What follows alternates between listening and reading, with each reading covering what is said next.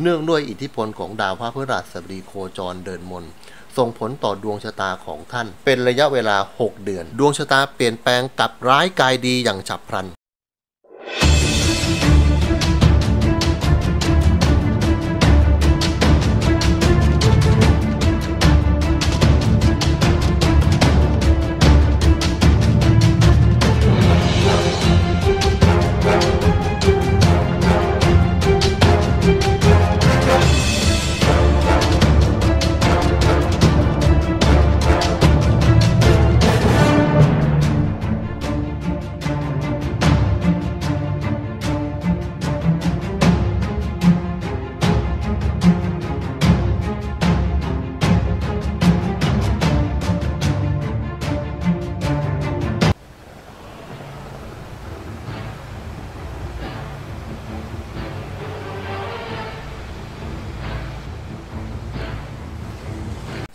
นะครับ ยินดีต้อนรับเข้าสู่ช่องรายการ MRPD 88หมอฤทธิ์ผ่าดาว YouTube.com รายการดูดวงชะตาลัคนา 12 ราศี และบูชาวัตถุมงคลเพื่อเสริมดวงชะตาให้เป็นมหารวยนะครับ เพื่อความเป็นสิริมงคล คลิปนี้เป็นคลิปดูดวงชะตารายเดือน ประจำเดือนมีนาคม 2564 ดาวพระพฤหัสบดีเนี่ยเป็นดาวสุภเคราะห์ดวงใหญ่ดวงหนึ่ง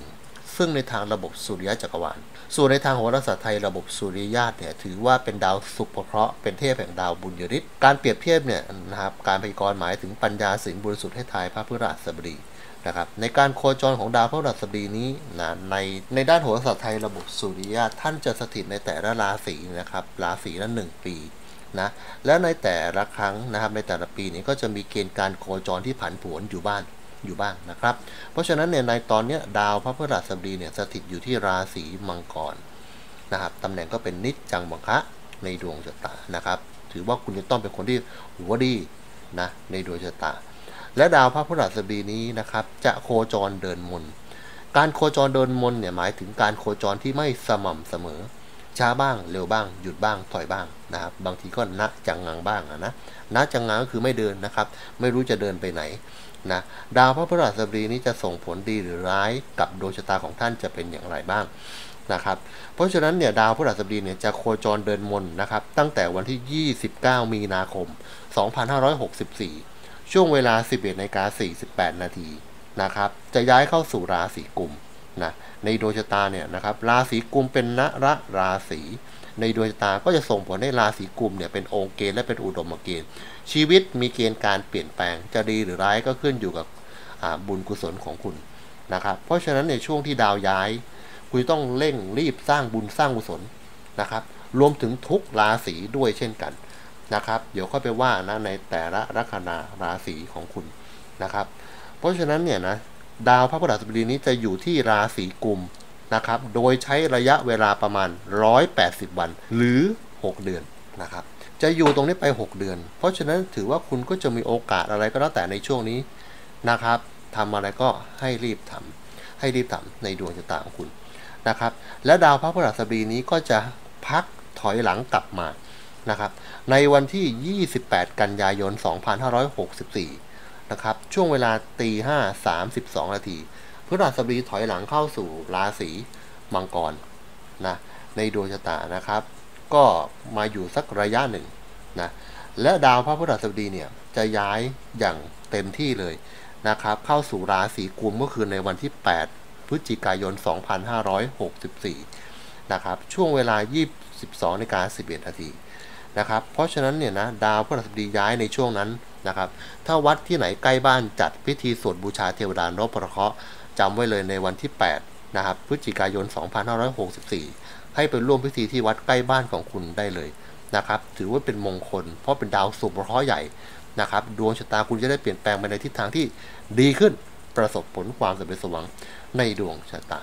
นะครับ เพราะฉะนั้นเนี่ยนะอิทธิพลจากดาวพระพฤหัสบดีส่งผลย้ายในครั้งนี้จะเป็นอย่างไรบ้าง จะดีหรือร้ายในดวงชะตาของคุณ ดาวพระเคราะห์ที่โยกย้ายราศีนะครับในเดือนมีนาคมนี้ของชาวลัคนาราศีมีนนะครับ ในเดือนนี้ก็จะมีดาว พระพุธย้ายสองครั้งดาวอาทิตย์ ดาวพระเกตดาวพระศุกร์แล้วก็ดาวพระพฤหัสบดีนะครับ ซึ่งเป็นดาวประจำตัวของชาวลัคนาราศีมีนนะครับ ซึ่งมีความสำคัญกับคุณมากนะเพราะฉะนั้นเนี่ยเดี๋ยวก็จะมาไล่เรียงกันเลยนะครับว่าในแต่ละดาวนะที่ย้ายนี้จะส่งผลอย่างไรบ้างนะครับ มาเริ่มต้นที่ชาวมาเริ่มต้นที่ดาวพระพุธกันก่อนเลยนะ ดาวพุธนี้โคจรย้ายราศีนะครับเดินหน้าเสริญอย่างรวดเร็วในตำแหน่งก็เป็นจุลจักร ในวันที่ 9 มีนาคม 64 เวลาตี25ที ดาวพุธนี้ก็โคจรเข้ามาสู่ในภพวินาศนะครับ อยู่ในราศีกุมในเรือนของดาวพระราหูนะเพราะฉะนั้นเนี่ยนะครับในดวงชะตาของคุณให้ระวังในเรื่องของเอกสารสัญญานะอ่านอะไรก็ดูนิดนึงก่อนเซ็นนะครับ ให้ระวังในเรื่องของคำพูดนิดนึง นะเพราะฉะนั้นเนี่ยชะตาชีวิตของคุณในช่วงนี้นะครับ อาจจะไม่ค่อยที่จะได้รับความสุขนักนะอาจมีอุปสรรคนะครับ มีปัญหาเกี่ยวข้องกับผู้ใหญ่เช่นนะมารดานะครับ หรือคู่ของคุณเนี่ยนะมีเกณฑ์การติดต่อกับเพศตรงข้าม ซึ่งไม่ค่อยสู้ที่จะได้ผลดีนักนะในเรื่องของทรัพย์สินบ้านเรือนต่างๆนะครับ ก็มักมีอุปสรรค ดาวพุธเนี่ยก็เป็นดาวเจริญภพพันธุแล้วก็เป็นดาวเจริญภพ ปัตตานีนะครับคือในดวงชะตามาอยู่ในภพวินาศก็เป็นพินุบาตอย่างที่บอกนะ เพราะฉะนั้นช่วงนี้ในชาวชะตาเนี่ยจะอยู่บ้านไม่ค่อยติดนะครับ ส่งผลให้ต้องพบกับปัญหาหรืออุปสรรคอยู่ตลอดนะส่วนในเรื่องของความรักก็ต้องระมัดระวังให้มากนะครับ มีเกณฑ์การจะทะเลาะเบาแว้งกันมีปัญหาอุปสรรคนะคือบางคนก็อาจจะมีปัญหาหนักถึงขั้นเลิกราหย่าร้างกันก็ได้นะครับ หรือดวงชะตาของบางคนเนี่ยคู่ครองอาจจะสนับสนุนส่งเสริมอยู่เบื้องหลังให้กับ เจ้าชะตาก็ได้นะแต่ไม่ได้ออกออกหน้าหรือเปิดเผยอะไร แต่อยู่เบื้องหลังให้การสนับสนุนก็ได้นะครับ ในช่วงระยะเวลานี้ชาวลัคนาราศีมีเนี่ยนะถ้าคุณพูดนะครับทายหรืออะไรก็แล้วแต่ออกมาเนี่ยมักจะแม่นนะครับ หรือถ้าคุณพูดในเรื่องของตัวเลข เพราะฉะนั้นถ้าคุณพูดลอยๆออกมา ไปซื้อเลย นั่นคือโชคลาภใหญ่ของคุณนะของชาวลัคนาราศีมีนเลยนะครับ ดาวต่อมาเลยนะครับที่จะย้ายก็คือดาวพระอาทิตย์นะ ดาวพระอาทิตย์นี้จะโคจรย้ายราศีนะครับตำแหน่งก็เป็นอุจจาวิราช ในวันที่ 14 มีนาคม 2564 เวลา 2 ทุ่ม 5 นาที ดาวพระอาทิตย์นี้ก็โคจรเข้ามาทับกลุ่มลัคนาชาวลัคนาราศีมีนนะครับ อาทิตย์นั้นเนี่ยก็เป็นดาวเจ้าเรือนภพอาลิด้วยเช่นกันนะครับ เพราะฉะนั้นเนี่ยชะตาชีวิตของคุณในช่วงนี้ก็จะส่งผลให้คุณเนี่ยมีความกระตือรือร้นดีในดวงชะตา นะดาวพระอาทิตย์อยู่ในเรือนของพฤหัสบดีเนี่ยส่งผลให้ราศีมีนเนี่ยเป็นคนที่ชอบความอบอุ่นนะครับเออในดวงตาถ้าคุณเห็นคนวิดูเป็นผู้รับผู้ใหญ่นะ หรือแฟนคุณอะไรก็แล้วแต่คนเจ้าเนื้อเนี่ยคุณมักที่จะชอบไปซุกประมาณนี้นะเออความอบอุ่นนะครับ เพราะฉะนั้นเนี่ยส่งผลให้ชะตาชีวิตคุณเนี่ยจะเป็นคนที่สนใจในเรื่องที่เกี่ยวข้องกับเพศตรงข้ามนะครับจะมีสิ่งที่จูงใจนะเพศตรงข้ามเนี่ย ให้เข้ามาเกี่ยวพันกับคุณ หรือมาทอดสะพานให้ชีวิตในช่วงระยะเวลานี้ก็จะมีความสุขสำราญดีในดวงชะตาคุณนะครับ แต่ก็อย่าลืมในเรื่องของปัญหาและอุปสรรคต่างๆนะซึ่งมักจะเกิดกับเจ้าชะตาอยู่บ่อยๆ ด้วยเช่นกัน เพราะอาริกลุ่มละนะครับ หมายถึงอุปสรรคหรือศัตรูมักเข้ามาคุณนะเออเพราะฉะนั้นก็ต้องระมัดระวังนิดนึงศัตรูใกล้ตัวนะ นะต้องระมัดระวังไว้นิดนึงนะครับในดวงชะตาของคุณนะ แต่ถ้าดาวพระอาทิตย์ของคุณดีตามดวงชะตา หมายถึงตำแหน่งยศศักดิ์หน้าที่การงานมีโอกาสได้ตำแหน่งที่ดีนะครับได้เลื่อนขั้นเลื่อนตำแหน่ง ถ้าคุณทำงานราชการนะคุณได้เลื่อนขั้นเนี่ยมันก็พร้อมกับอุปสรรคปัญหาที่จะต้องลุยงานหรือแก้ไขในเรื่องของงานด้วยนะครับ แต่อย่างไรก็แล้วแต่คุณก็จะเป็นที่รักใคร่ของผู้หลักผู้ใหญ่ในช่วงหนึ่งเดือนนี้นะ มาถึงดาวต่อมาเลยนะครับ อย่างรวดเร็วนะก็คือดาวพระเกต ดาวพระเกตเนี่ยจะย้ายราศีในในวันที่ 17 มีนาคม 64 เวลา 22นาฬิกา46 นาที เกตนั้นก็เข้าสู่ในภพมรณะนะครับอยู่ที่ราศีตุลอยู่ในเรือนของดาวศุกร์นะ เพราะฉะนั้นเนี่ยส่งผลเนี่ยคุณก็อาจจะมีรายจ่ายมากเป็นพิเศษด้วยเช่นกันนะครับ ในช่วงนี้เกตอยู่พบมรณะเนี่ยนะคุณจะมีปัญหาในเรื่องของด้านสุขภาพนะครับ ต่างๆ ให้ระวังในเรื่องของอการมรณะอย่างผิดปกติ นะครับ อย่างเช่น คดีของน้องชมพู่เป็นต้นนะในดวงชะตานะครับ ในช่วงจังหวะนั้นดาวเกียรติอยู่มรณะพอดี หรือในโดยต่างคุณอาจจะเป็นคนที่ลักษณะเหมือนกับเป็นคนเบื่อโลกนะครับเบื่อเป็นคนที่เบื่อโลก เบื่อโลกนะมักจะเข้าหาในเรื่องของทางธรรม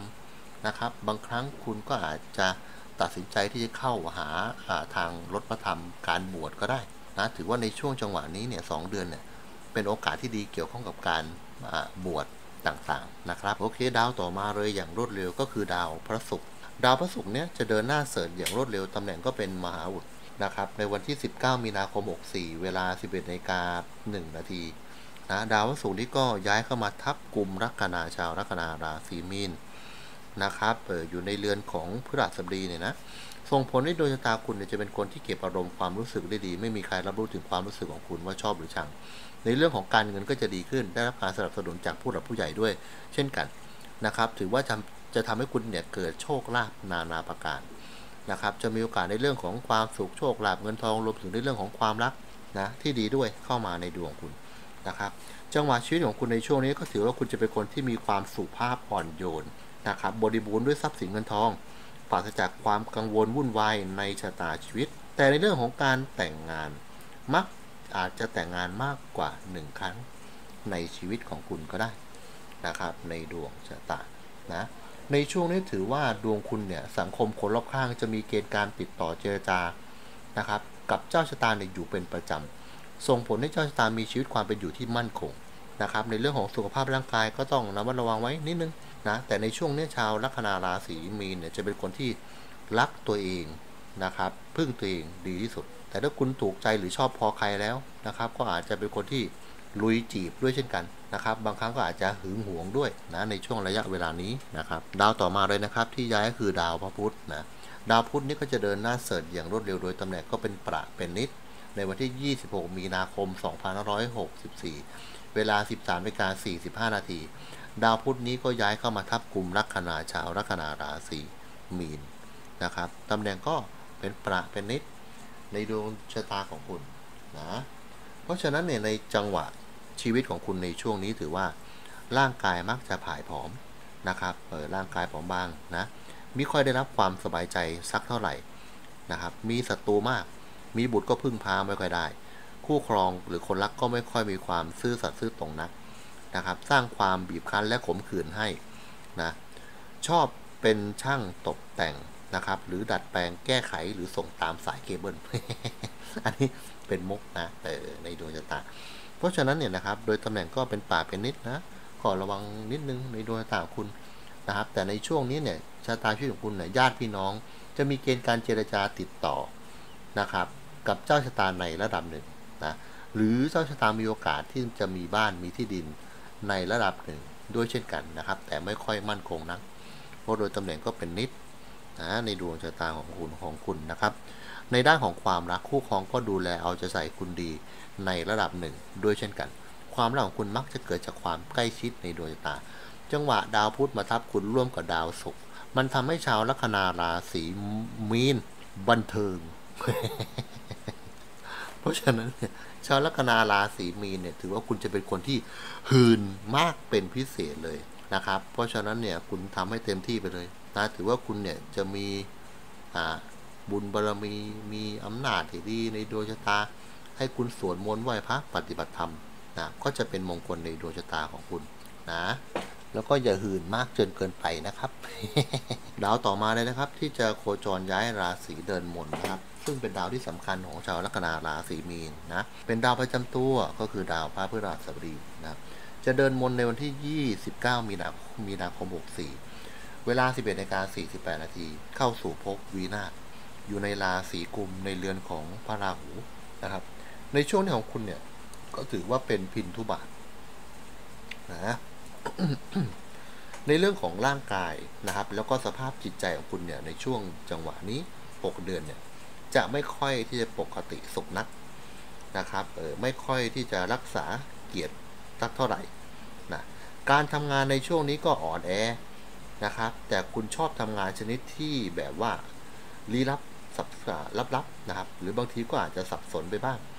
นะการเงินบางครั้งก็อาจจะใช้จ่ายไม่ค่อยที่จะถูกทางสักเท่าไหร่ในดวงชะตาคุณนะครับ ดาวพฤหัสบดีอยู่ในภพวินาศเนี่ยหมายถึงผู้หลักผู้ใหญ่สนับสนุนส่งเสริมช่วยเหลือคุณแบบลับๆไม่เปิดเผยนะครับ ในดวงชะตา และในเรื่องของ ดาวจำตัวของคุณเนี่ยนะครับในช่วงนี้คุณอาจจะเป็นคนที่กินง่ายอยู่ง่ายนอนง่าย ไม่ค่อยชอบที่จะมีเรื่องอะไรกับใครมากมายนักในดวงชะตา เพราะฉะนั้นคุณจะต้องอยู่อย่างสมถะถึงจะดีนะครับเออนะในดวงคุณ ดาวพฤหัสอยู่ในภพที่เสียเนี่ยก็ถือว่าเสียไม่มากนะท่านให้การยกเว้นไว้นะครับ เพราะฉะนั้นคุณจะต้องอยู่ให้เป็นนะมีไหวพริบปฏิภาณอ่อนน้อมถ่อมตนกับผู้หลักผู้ใหญ่เขาเข้าไว้ดีที่สุดนะครับ เพราะฉะนั้นเนี่ยในช่วงนี้ของคุณเนี่ย เจ้าชะตาจะต้องอทำทุกสิ่งทุกอย่างนะครับ การประกอบกิจการต่างๆ แบบค่อยเป็นค่อยไป ไม่ต้องรีบร้อนหรือควรอยู่เบื้องหลังถึงจะดีในดวงชะตาของคุณนะส่วนเรื่องของงานเนี่ยก็มักพบกับความเสียหายต่างๆนะครับ แต่ถ้าคุณแก้ไขงานของคุณให้ดีขึ้น มันจะทำให้ชีวิตความเป็นอยู่ของชาวลัคนาราศีมีนเนี่ยดีขึ้นนะครับ และมั่นคงที่ดีในดวงชะตา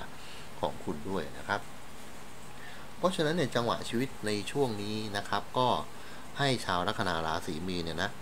ควรนะครับสวดมนต์นะทำพิธีรับส่งเทวดาพระพฤหัสบดีนะครับ เล็กๆที่บ้านนะที่หิ้งผ้าของคุณนะนะครับ ให้คุณเตรียมผลไม้นะ19 ผล จุดทูบ19 ดอกนะครับแล้วเสร็จแล้วให้คุณสวดพระคาถาบทนี้นะครับ ตั้งนโมสามจบแล้วก็สวด อิติปิโสพระควาพระพฤหัสบดีจะมัสมิงจะบุตรคุณนังจะธรรมคุณนังจะสังฆคุณนังสัพพทุกขังสัพพพยันสัพพโรขังวิวัชเยสัพพะราพังพระวันตุเมนะครับ ส่วดแบบนี้ 19 จบ แล้วเสร็จแล้วก็ตั้งจิตอธิษฐานข้าพเจ้าขอที่บุญกุศลที่ข้าพเจ้าได้สร้างข้ามชาข้าพบจนถึงปัจจุบัน ขอที่บุญกุศลนี้ขอถวายแด่องค์เทวดาพระพฤหัสบดี ขอให้มงคลบุญนี้จงเป็นกำลังบุญที่หนุนนำให้ท่านมีบารมีสูงยิ่งขึ้นไป และจงแผ่กำลังเทวานุภาพ มาคุ้มครองพิทักษ์รักษา ประทานพรโชคลาภให้กับข้าพเจ้า ชื่ออะไรคุณก็บอกชื่อท่านไปแล้วก็ขอพรได้เลยนะครับ ก็ถือว่าเป็นมงคลดีในดวงชะตานะแล้วก็ให้ระมัดระวังในเรื่องของอุบัติเหตุสุขภาพร่างกายของผู้หลักผู้ใหญ่ในบ้านด้วยนิดนึงนะในดวงชะตา หรือถ้าใครคิดที่จะไปทำเสริมกรรมตกแต่ง นะไปฉีดโอท็อปไปเสริมอึมอะไรก็แล้วแต่ในช่วงระยะเวลานี้ไม่เป็นผลดีระวังผลข้างเคียงข้างเคียงนะครับ การรักษาพยาบาลอาจเกิดความเสียหายเกิดขึ้นได้นะเพราะฉะนั้นเนี่ยในช่วง 6 เดือนนี้ใจเย็นๆนิดนึงไม่ต้องรีบนะครับในดวงชะตาของคุณนะนะก็มาพูดถึงในเรื่องของพระจันทร์ดับกับพระจันทร์เป็นกันต่อเลยนะครับ